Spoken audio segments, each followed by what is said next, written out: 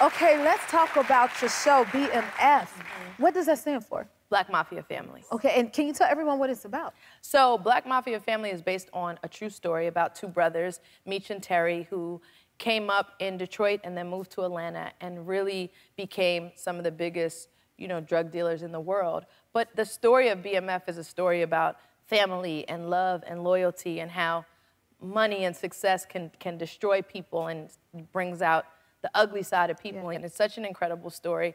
And I'm honored to be a part of it. 50 Cent is executive producer. Wow. So it's awesome. He's a mentor to me, a close friend to me. We did amazing work together on Power. Mm -hmm. And now to come back and be able to work together again on BMF has just been incredible. Wow. Yeah.